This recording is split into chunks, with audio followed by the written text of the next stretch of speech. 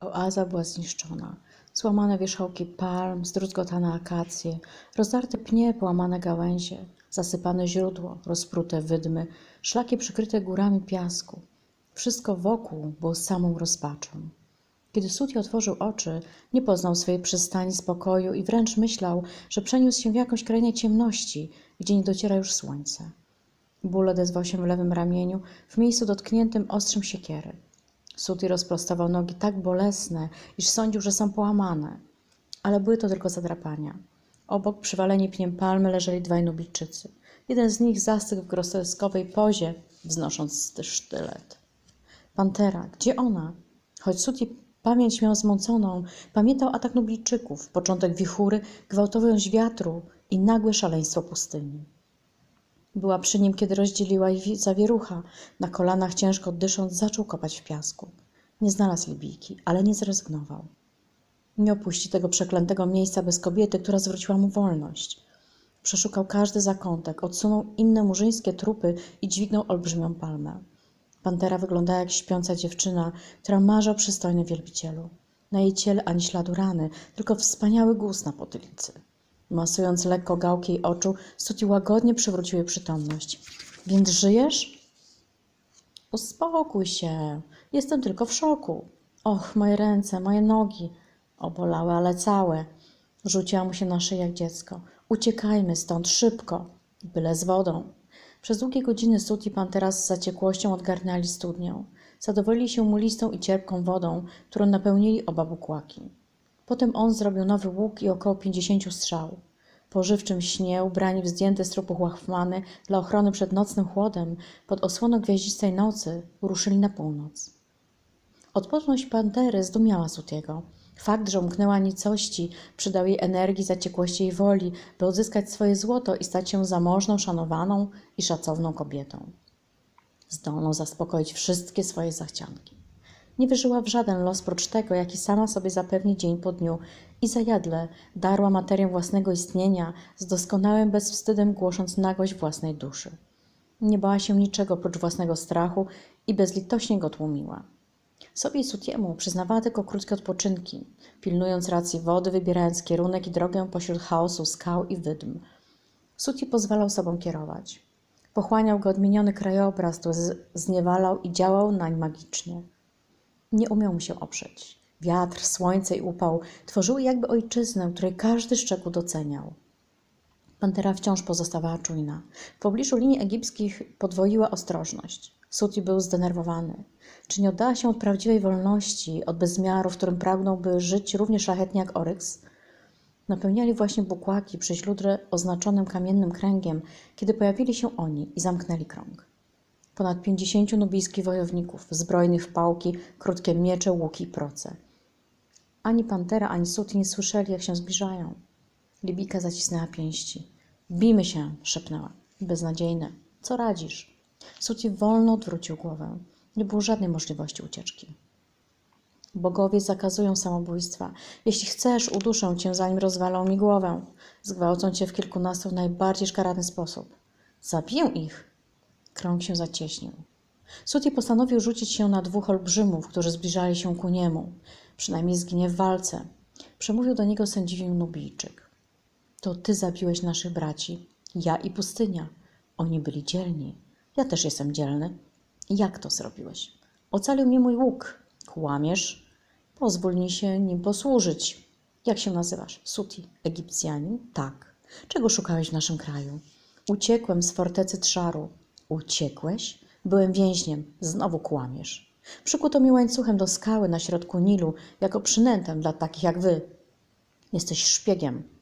Ukrywałam się w oazie, kiedy twoi ludzie wzięli ją szturmem. Gdyby nie wielka burza, byliby cię zwyciężyli. Oni zginęli, ja żyję. Jesteś zarozumiały. Gdybym mógł się z wami bić po kolei, dowiódłbym, że to uzasadniona duma. Nubijczyk popatrzył na swoich towarzyszy. Twoje wyzwanie jest godne pogardy. Zabiłeś naszego wodza w oazie i zmusiłeś mnie, starego człowieka, abym stanął na czele naszego klanu. Pozwól mi stoczyć walkę z twoim najlepszym wojownikiem i zwróć wolność, jeśli zwyciężę. Bij się z nami wszystkimi. Jesteś tchórzem. Jakiś wystrzelony z procy kamień trafił Sutiego w skroń. Upadł na wpół ogłuszony. Dwóch olbrzymów zbliżyło się do pantery. Spojrzała na nie wyzywająco i ani drgnęła. Zerwali z niej ubrania i strzępy tkanin, które kryły jej włosy. Cofnęli się osłupiali. Pantera nie zakryła rękoma ani piersi, ani blond loków przysłaniających jej płeć. Ruszyła naprzód z królewską godnością. Nubijczycy skłonili się przed nią. Obrzędy na cześć złotowłosej bogini trwały całą noc. Wojownicy rozpoznali przerażającą istotę, której moc opiewali ich przodkowie. Przybyła z dalekiej Libii, rozsiewała zależne od swego humoru epidemii, kataklizmy i głód. Chcąc ją ułagodzić, Nubijczycy poczęstowali ją alkoholem z daktyli, gotowanym wężem i świeżym czosnkiem, skutecznym lekarstwem przeciw ukąszeniom gadów i skorpionów. Tańczyli wokół natartej wonnymi olejkami pantery, przybranej w koronę z liści palmy. Wznosili do niej modły, przekazywane od zarania dziejów. O Sutim zapomniano. Jak wszyscy inni był sługą złotowłosej bogini. Pantera mistrzowsko grała swoją rolę. Gdy nadszedł koniec uroczystości, objęła dowództwo małej bandy, rozkazała zwiadowcom obejść z daleka fortecę Trzaru i dążyć szlakiem na północ. Ku ich wielkiemu zdumieniu żołnierze egipscy skryli się za murami i nie patrolowali już okolicy. Zatrzymali się u stóp skalistego szczytu w miejscu osłoniętym od słońca i wiatru. Suti podszedł do pantery. Właśnie wysiadała z lektyki, którą niosło czterech zachwyconych osiłków. Nie śmiem podnieść na ciebie oczu. Dobrze robisz, bo wypruliby z ciebie flaki. Drażni mnie ta sytuacja. Jesteśmy na dobrej drodze. Ale sposób jest niedobry. Cierpliwości. To nie jest moja specjalność. Trochę zniewolenia dobrze ci zrobi. Nie licz na to. Nikt nie umknie władzy jasnowłosnej bogini. Rozwścieczony Suti zaczął ćwiczyć z nowymi towarzyszami strzelanie z procy. Ponieważ okazał się zręczny, wzbudził ich szacunek. Kilka spotkań w walkach wręcz, w których zwyciężył, zdobył mu przychylność, ostatecznie potwierdzoną pokazem strzelania do celu. Między wojownikami zrodziła się przyjaźń. Po wieczornym posiłku Nubijczycy rozmawiali o złotej bogini, która przybyła, by nauczyć ich muzyki, tańca i gier miłosnych. Podczas gdy bajarze upiększali mity, na uboczu dwóch mężczyzn rozpaliło ogień, aby podgrzać naczynie z klejem zrobionym z tłuszczu antylopy. Kiedy podgrzana substancja zmieniła się w płyn, pierwszy z nich zanurzył pędzelek, a drugi podsunął mu klamrę pasa. Jego towarzysz dokładnie rozprowadził po niej klej. Suti ziewnął. W chwili, gdy się oddalał, coś błysnęło w ciemności. Zaintrygowany zwrócił się do mężczyzn. Człowiek z pędzelkiem z wielkim skupieniem nakładał na klamrę z hebanowego drewna metalowy listek. Egipcjanin pochylił się. Oko go nie zawiodło. To rzeczywiście był listek złota. Gdzieś to znalazł. To prezent od naszego wodza. A skąd on to miał?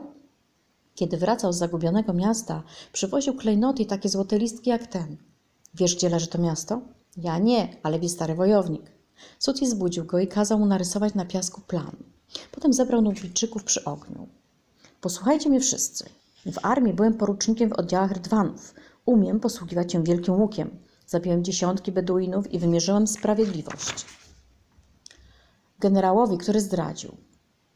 Mój kraj nie okazał mi wdzięczności. Dziś chcę być bogaty i możny. Ten kraj potrzebuje przywódcy, człowieka walecznego i obeznanego z wojną. Ja taki jestem.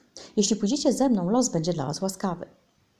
Rozpłomieniona twarz Sutiego, jego długie włosy, silna budowa i powaga wywarły wrażenie na Nubijczykach. Tu wkroczył jednak stary wojownik. Zabiłeś naszego przywódcę. Byłem od niego silniejszy, prawo pustyni nie oszczędza słabych. Do nas należy wyznaczenie następnego wodza. Zaprowadzę was do zagubionego miasta i zabijemy wszystkich, którzy będą się nam sprzeciwiać. Nie wolno ci zachowywać tej tajemnicy tylko dla siebie. Jutro ten klan będzie najbardziej szanowany w Nubii. Nasz wódz zawsze sam ruszał do miasta. My pójdziemy razem i wszyscy dostaną złoto. Zwolennicy i przeciwnicy Sutiego zaczęli się wzajemnie przekrzykiwać. Wpływ dawnego wodza był tak wielki, że przegrana Egipcjanina była niemal pewna. Dlatego posłużył się panterą. Brutalnym gestem zdarł z niej ubranie. Płomienie oświetliły jej jasnowłosą nagość. Widzicie, nie buntuje się przeciwko mnie. Tylko ja jeden mogę być jej kochankiem. Jeśli nie przyjmiecie mnie na przywódcę, ona wywoła nową burzę piaskową i wszyscy zginiecie. Los Sutiego był w rękach Libijki. Jeśli go odepchnie, Nubijczycy dowiedzą się, że to tylko przechwałki i zmasakrują go. Czy jednak podniesiona do rangi bogini nie upiła się pychą? Oswobodziła się. Czarni wojownicy skierowali swoje strzały i sztylety w stronę Sutiego. Pomylił się fając Libijce. Ale przynajmniej zginie, podziwiając cudowne ciało kobiety. Ze zwinnością dzikiego zwierzęcia ułożyła się przy ogniu i wyciągnęła ku niemu ramiona. Chodź, rzekła z uśmiechem. Pazer nagle się obudził. Śnił mu się stugłowy potwór o niezliczonych szponiastych łapach z wielkimi pazurami, który zrzucał kamienie wielkiej piramidy i próbował ją przewrócić. Jego brzuch był ludzką twarzą, oczywiście Beltrana. Wezer spocony mimo chłodu tej lutowej nocy wymacał drewnianą ramę łoża z materacem splecionych roślinnych sznurów, jego nogi w kształcie lwich głów. Odwrócił się do Neferet. Łoże było puste. Odsunął siatkę o bardzo drobnych oczkach służącą za moskitierę, wstał, narzucił na siebie płaszcz i otworzył okno wychodzące na ogród. Słabe zimowe słońce budziło drzewa i kwiaty. Śpiewały skowronki.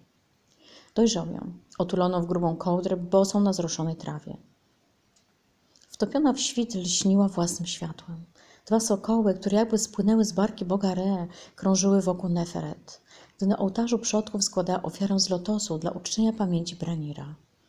Zapładniające przestrzeń łączące Egipt z niebiańskim statkiem drapieżniki wróciły na dziób łodzi, umykając ludzkiemu wzrokowi. Gdy rytuał dobiegł końca, Pazer przytulił żonę. Jesteś gwiazdą zaranną, o świcie szczęśliwego dnia, promienistą i niezrównaną. Twoje oczy są równie czułe jak twoje wargi. Czemu jesteś taka piękna? Twoje włosy zawierają blask bogini Hator. Kocham cię, Neferet, jak nikt jeszcze nie kochał. Połączył ich miłosny świt. Stąd na dziobie statku płynącego do Karnaku, Pazer podziwiał swój kraj.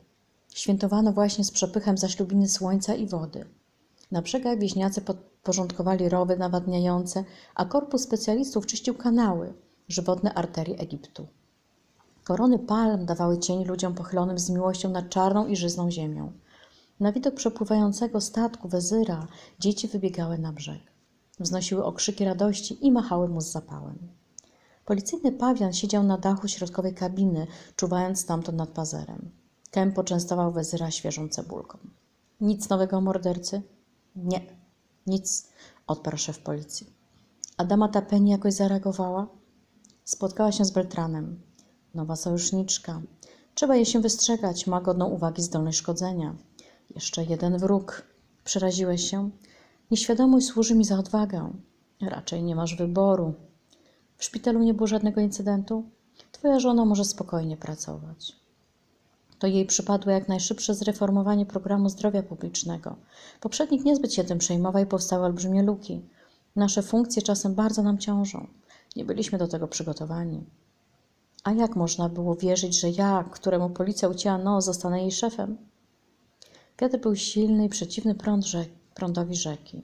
Czasem marynarze posuwali się naprzód wiosłując, ale nie składając masztu ani nie zwijając wysokiego i wąskiego prostokątnego żagla. Kapitan przyzwyczajony do żeglowania po Nilu przez cały rok znał wszystkie pułapki i umiał wykorzystać najmniejszy powiew, aby szybko dowieść do celu znakomitych podróżnych. Szkutnicy faraona tak wyprofilowali statek, którego kadłub nie miał klifu, aby ślizgał w falach. Kiedy morderca znów uderzy.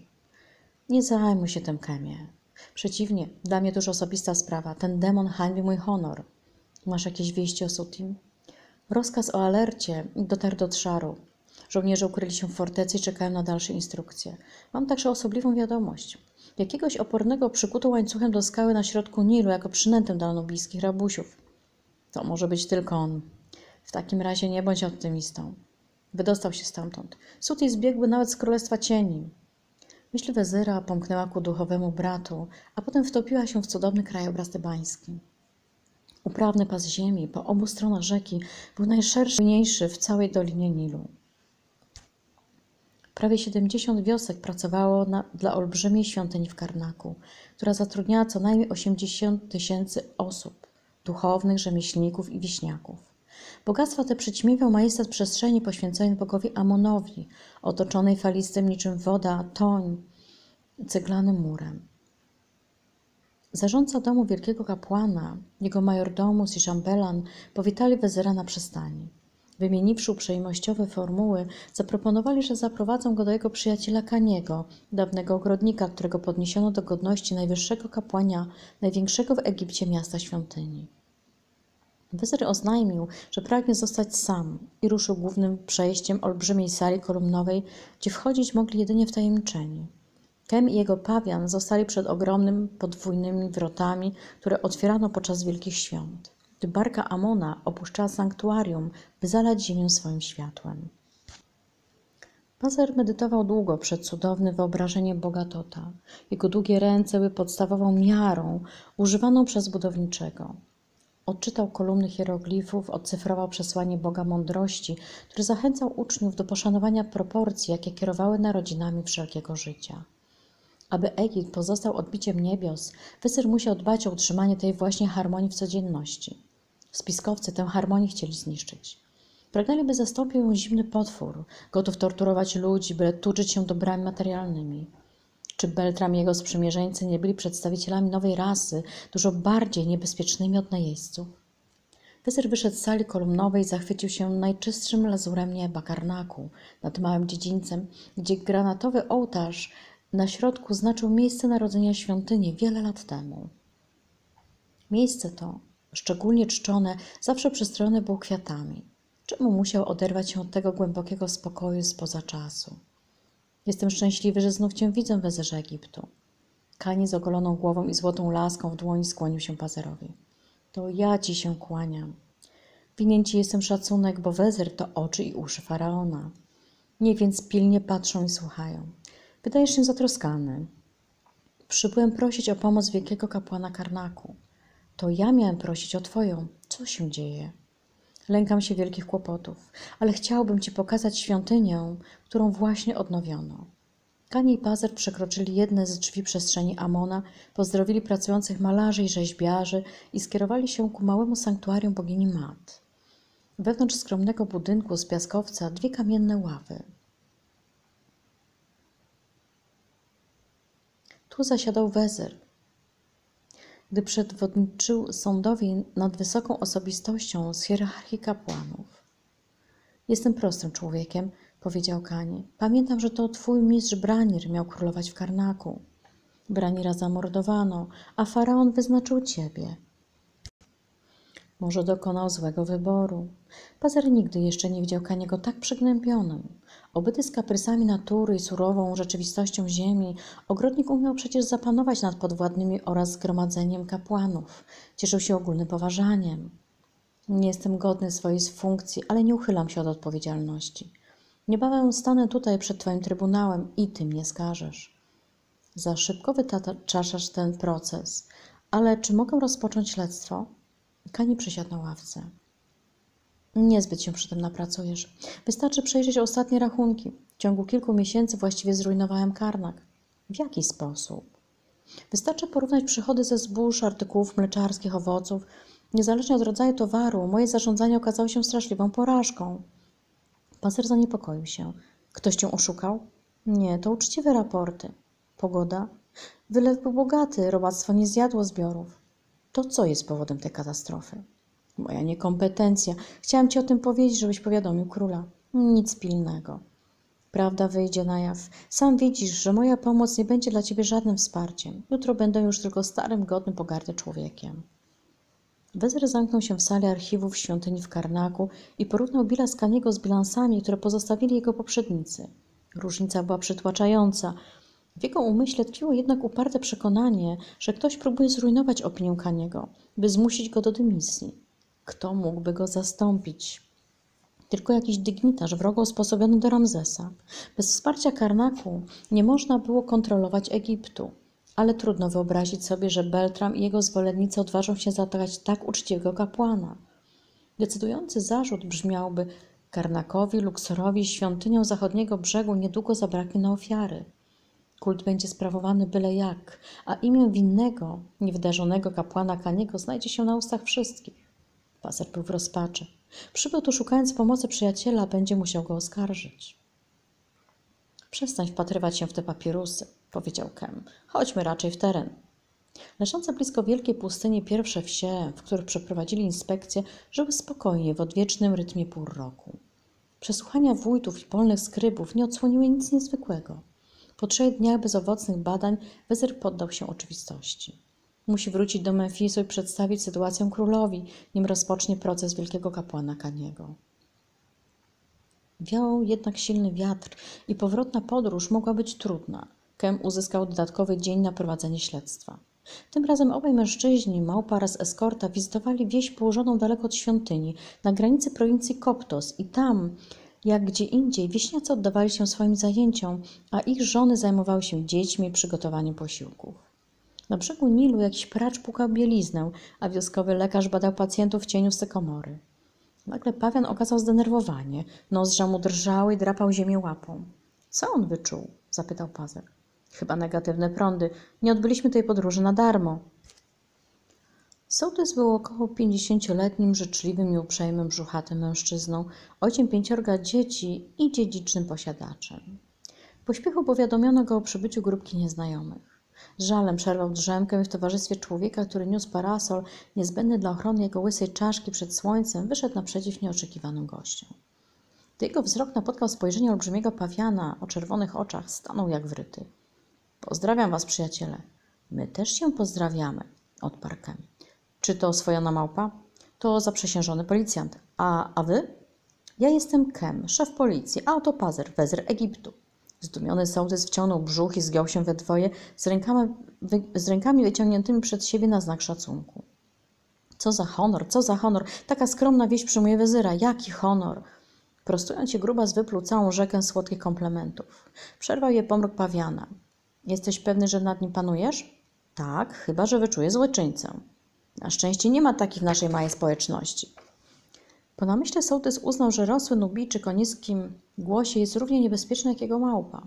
Słyszał o tym dziwnym naczelniku policji, który niezbyt interesował się pracą administracyjną, ale był tak bliski społeczeństwu, że nie umknął mu żaden przestępca. Wieść go tu, na swoim terenie, to bardzo niemiła niespodzianka. No i ten wezyr, za młody, zbyt poważny, za bardzo dociekliwy. Naturalna dostojność Pazera, bystre i głębokie spojrzenie i surowe zachowanie nie wróżyły nic dobrego. Pozwólcie, że wyrażę zdziwienie. Tak wybitne osobistości w tej zagubionej dalekiej wiosce? Twoje pola rozciągają się aż po widnokrąg, stwierdził Kem, i są doskonale nawodnione. Nie należy ulegać pozorom. Ziemia w tym regionie jest trudna do uprawy. Moi biedni oracze łamią tu sobie grzbiety. A przecież ostatniego lata wylew był doskonały. Nie mieliśmy szczęścia. Tutaj był za duży, a zbiorniki irygacyjne były w złym stanie. Mówią, że zbiory były wspaniałe. Mylicie się. Dużo mniejsze niż w zeszłym roku. Winorośli też? Potworne rozczarowanie. Chmary insektów zjadły liście i owoce. Inne wioski nie przeżyły takich nieprzyjemności, zauważył paser. Głos wezyra ociekał podejrzliwością. Sołtys nie oczekiwał tak zjadliwego tonu. Może moi koledzy chcieli się pochwalić, a może moją biedną wioskę prześladował zły los. A hodowla? Wiele zwierząt padło z powodu chorób. Był weterynarz, ale za późno. To naprawdę oddalone miejsce i jest doskonała bita droga, zaprotestował Kem. Wyznaczeni przez karnek odpowiedzialni za nią ludzie utrzymują ją bardzo starannie. Choć dochody nędzne, pozwólcie, że zaproszę was na obiad. Wielki to dla nas honor. Wybaczcie prostotę dań, ale to z całego serca. Nikt nie mógł naruszyć praw gościnności. Kem przyjął zaproszenie w imieniu wezyra, a sołtys wysłał sługę, by powiadomił kucharkę. Pazer stwierdził, że wieś jest kwitnąca. Wiele domów otynkowano na biało, krowy i osły miały liśniącą sierść i dobrze odżywione brzuchy. Dzieci biegały w nowych ubraniach. Na rogach bardzo schludnych uliczek stały posągi bożków. Na rynku, naprzeciw urzędu, stał piękny piec chlebowy i wielki, świeżo ustawiony stół zboża. Gratuluję zarządzania, ocenił Pazer.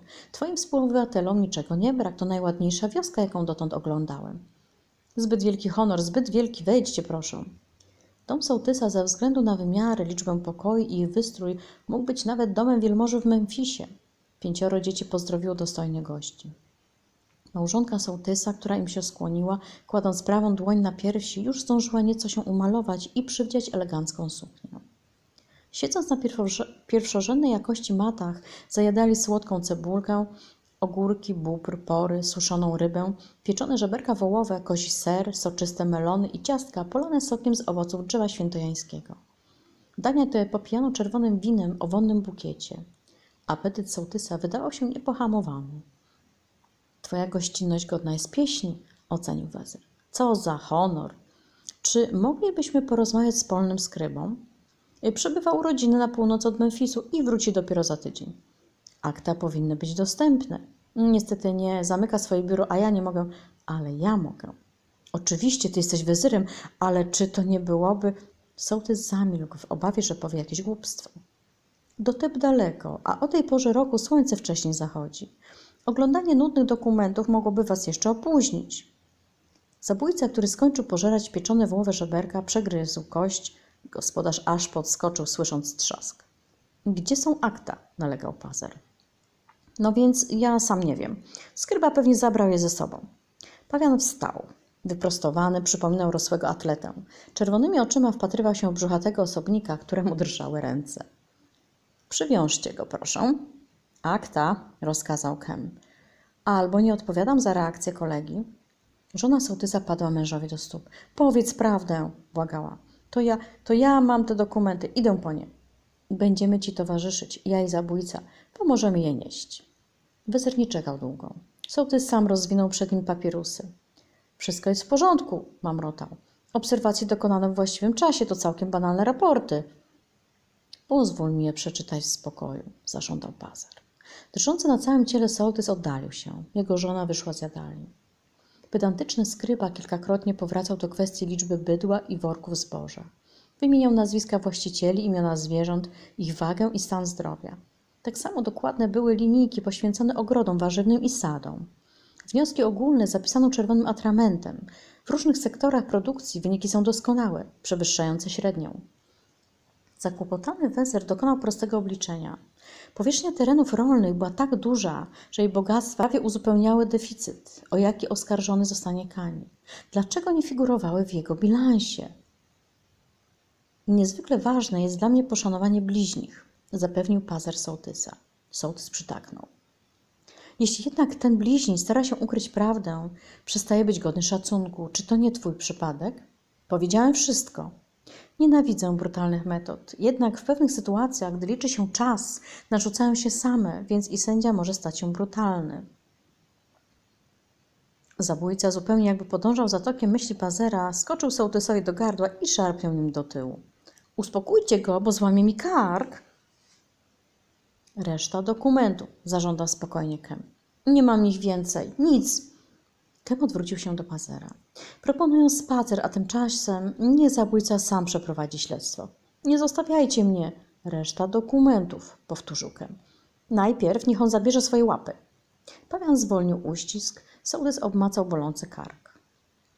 Zachowujecie się dzikusy. Zgłaszam sprzeciw wobec tego arbitralnego postępowania. Potępiał te skandaliczne działania, te tortury, którym poddano urzędnika państwowego.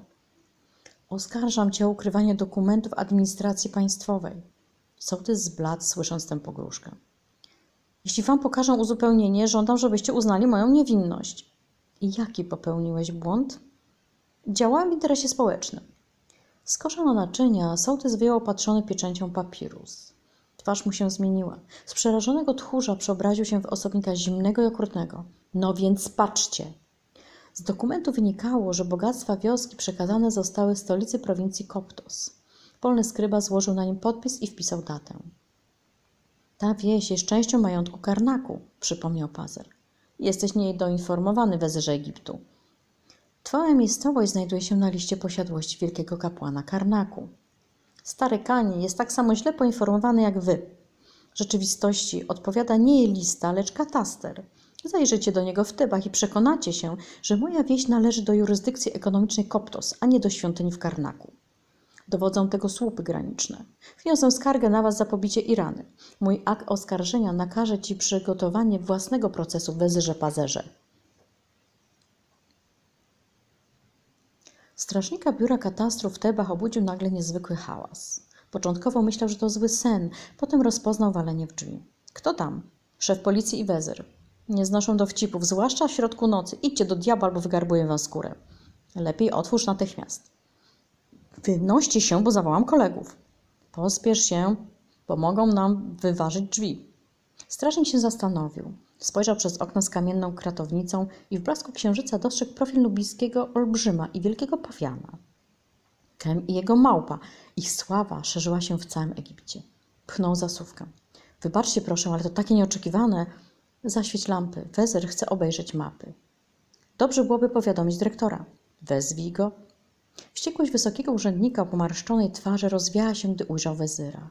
Strażnik nie opowiadał mu bzdur. Rzeczywiście, o nieoczekiwanej porze w jego biurach zjawił się pierwszy minister kraju. Dyrektor stał się nagle służalczy, co ułatwiło zadanie wezyrowi. Jakie mapy chciałbyś obejrzeć, panie? Plany ziem należące do Karnaku. Ależ to olbrzymi obszar. Zacznijmy od najdalej położonych wsi. Na północy czy na południu? Na północy. Duże czy małe? Największe. Urzędnik rozłożył mapy na długich drewnianych stołach. Zaznaczono na nich granice każdej działki, kanały i skupiska zabudowań. Wezer na próżno szukał wsi, którą ostatnio odwiedził. Czy to uaktualniony stan? Oczywiście.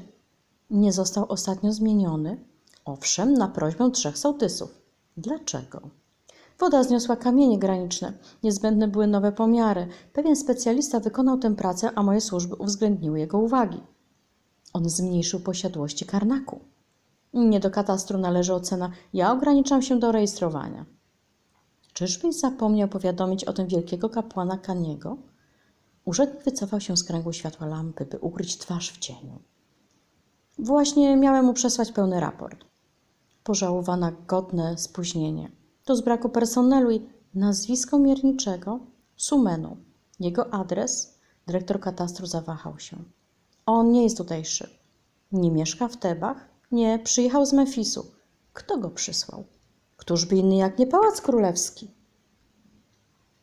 Na drodze procesji wiodącej do świątyni Karnaku różowe i białe krzaki wawrzyny obdarzały przechodzących widokiem, którego słodycz łagodziła monumentalną surowość zamykającą święty plac. Wielki kapłan Kani zgodził się wyjść ze swojego zacisza, by porozmawiać z Pazerem. Dwaj najmożniejsi po faraonie ludzie w Egipcie spacerowali między dwoma szeregami opiekuńczych sfinksów. Moje śledztwo posunęło się naprzód. A na co się ono przyda? Wykaże, że jesteś niewinny. Nie jestem. Nadużyto twego zaufania. To ja przesadnie wierzyłem we własne możliwości. Mylisz się. Te trzy najbardziej oddalone od świątyni wsie przekazały swoją produkcję świątyni w Koptos. Dlatego brakuje ich w twoim bilansie. Czy należały do Karnaku? Spisy, spisy katastralne zmieniono po ostatnim wylewie. Nie zawiadamiając mnie o tym, to była interwencja mierniczego z Memphisu. Niepojęte. Specjalny posłaniec udał się właśnie do Memphisu z rozkazem sprowadzenia tu niejakiego sumenu, który odpowiada za te działania. A co zrobić, jeśli Ramzes osobiście odebrał mi te wsie? Medytacja nad brzegiem świętego stawu, udział w rytuałach świtu, południa i zachodu, obserwowanie prac astrologów na dachu świątyni, czytanie starych mitów i przewodników poza światach, rozmowy z wielkimi dostojnikami, którzy odbywali rekolekcje wewnątrz świątyni Boga Amona – Oto czym zajmował się Pazer podczas pobytu w Karmaku. Przeżył wyrytą tam w kamieniu świetlistą wieczność. Słuchał głosu bogów i faraonów, którzy upiększali budowlę przez kilka dynastii i nasycił się niezmiennym istnieniem, które ożywiało płaskorzeźby i posągi. Kilkakrotnie medytował przed posągiem swego mistrza Branira, przedstawionego w postaci starego skryby z rozwiniętym na kolanach papirusem, na którym zapisano hymn na cześć tworzenia. Gdy tylko Kem dostarczył mu żądanej informacji, Weser udał się do biura katastrów. Dyrektor powitał go z widocznym zadowoleniem. Ponowna wizyta pierwszego ministra przyda mu nieoczekiwanej ważności. Czy pamiętasz nazwisko mierniczego z Memphisu? zapytał Pazer. Sumenu. Jesteś tego pewny? Tak, takie mi podał. Sprawdziłem. Niepotrzebnie, skoro wszystko jest w porządku. Mm, z czasów, kiedy byłem małym prowincjonalnym sędzią, zachowałem manię sprawdzania wszystkiego. To niekiedy długo trwa, ale często jest przydatne. Mówiłeś Sumenu. Mogłem się pomylić, to mierniczy Sumenu, związany z Pałacem Królewskim, umarł dwa lata temu. Ty go zastąpiłeś. Urzędnik otworzył usta, ale nie zdołał wydobyć z siebie głosu. Dokonywanie zmian w spisach katastralnych jest zbrodnią. Czyżbyś zapomniał, że przydzielenie wsi i ziem takiej czy innej jurysdykcji należy do wezyra? Ten, kto cię przekupił, Postawił na niedoświadczenie wielkiego kapłana Karnaku i moje, ale się pomylił. Jesteś w błędzie. Przekonamy się o tym niebawem. Zarządzam natychmiastową ekspertyzę ślepca. Przełożony korporacji ślepców Step, człowiek o szerokim czole i ciężkiej szczęce, był postacią imponującą. Po wylewie, kiedy rzeka unosiła kamienie graniczne i zatarła oznaczenia własności, administracja odwoływała się w spornych przypadkach do niego i jego kolegów. Szef ślepców był swoistą pamięcią ziemi. Od nieustannego przemierzania pól i upraw jego nogi znały już dokładne wymiary. Właśnie jadł suche figi w cieniu winorośli, kiedy usłyszał odgłos kroków. Jest was trzech, Olbrzym, mężczyzna średniego wzrostu i pawian.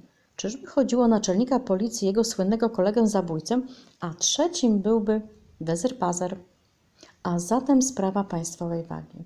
Jakie ziemie próbowano wam ukraść? Nie, nic nie mówcie. Moje rozpoznanie musi być całkiem obiektywne. W jakim to rejonie? Zamożne wsie na północy, na granicy prowincji Koptos. Okolicy bardzo się skarżą. Szkodniki zjadają im zbiory, hipopotamy je depczą, myszy, szarańcze, wróble zżerają wszystko, co zostało. Skończeni kłamcy. Ich ziemie są doskonałe, a rok był pomyślny. Kto jest specjalistą od tych ziem? Ja. Tam się urodziłem i tam dorastałem. Kamienie graniczne nie zmieniły się od 20 lat. Nie częstuję was figami ani piwem, bo zapewnie wam się spieszy. Ślepiec trzymał w ręku laskę, której uchwyt miał kształt głowy zwierzęcia o wąskim pyszczku i długich uszach. Jego pomocnik rozwijał sznur zgodnie ze wskazaniami. Ślepiec ani razu się nie zawahał. Wskazał cztery rogi każdego pola, odnalazł położenie kamieni granicznych i statuetek bóstw, m.in. kobry, opiekunki żniw oraz stele z królewskim nadaniem wyznaczające posiadłości Karnaku. Skrybowie notowali, rysowali i inwentaryzowali. Gdy zakończyli ekspertyzę, nie było już żadnej wątpliwości. Zmieniono spis i przyznano świątyni Kopto żyzne ziemie należące do Karnaku. Do wezyra należy wyznaczanie granic każdej prowincji, pilnowanie składania ofiar i wzywanie przed swoje oblicze każdego, kto nielegalnie zawładnął ziemią. Czyż nie ten rozkaz, a każdy faraon wydaje go każdemu wezyrowi, wydał mi władca podczas intronizacji? Szef prowincji Koptos, pięćdziesięcioletni potomek bogatej rodziny wielmożów zbladł. Odpowiadaj, rozkazał Pazar. Byłeś obecny na tej uroczystości. Tak, król rzeczywiście wypowiedział te słowa. Dlaczego przyjąłeś bogactwa, które do ciebie nie należały? Zmieniono spisy katastralne. To było fałszerstwo pozbawione mojej pieczęci i pieczęci wielkiego kapłana Karnaku. Na co liczyłeś? Że czas szybko płynie, a Kani poda się do dymisji. Mnie zdejmą z urzędu, a moje miejsce zajmie któryś z twoich wspólników. Wypraszam sobie podobne insynuacje. Udzieliłeś pomocy spiskowcom i mordercom. Beltram był na tyle pomysłowy, aby nie pozostawić żadnych śladów powiązań między tobą a podwójnym Białym Domem, więc nie będę ich mógł udowodnić. Ale wystarczy mi twoja malwersacja. Nie jesteś godny stanowiska gubernatora prowincji. Możesz uznać swoje odwołanie za ostateczne. Weser poprowadził posiedzenie swego trybunału w Tebach przed wielką bramą świątyni Karnaku, gdzie wzniesiono drewniany pawilon. Nie bacząc na radę Kema dotyczące własnego bezpieczeństwa, Pazer nie przystał na posiedzenie przy drzwiach zamkniętych, o co prosili oskarżeni. Wokół tłoczył się gęsty tłum. Zwięźle przedstawiwszy główne epizody śledztwa, Wezer odczytał akt oskarżenia. Potem zeznawali świadkowie, a pisarze notowali ich zeznania. Skład sędziowski dwóch kapłanów z Karnaku, burmistrz Sztep, małżonka jednego z notabli, położna i wyższy oficer wydał werdykt, który Pazer uznał za godny z duchem i literą prawa. Szefa prowincji Koptos, odwołanego z funkcji, skazano na 15 lat więzienia i wypłatę olbrzymiego odszkodowania świątyni. Winni kłamstwa i kradzieży żywności sołtysi trzech wsi mieli odtąd pracować jako robotnicy rolni, a ich liczne posiadłości rozdzielono między najuboższych. Dyrektora katastru w Tebach skazano na 10 lat obozu pracy. Wezer nie zażądał powiększenia kar. Żaden z oskarżonych nie apelował.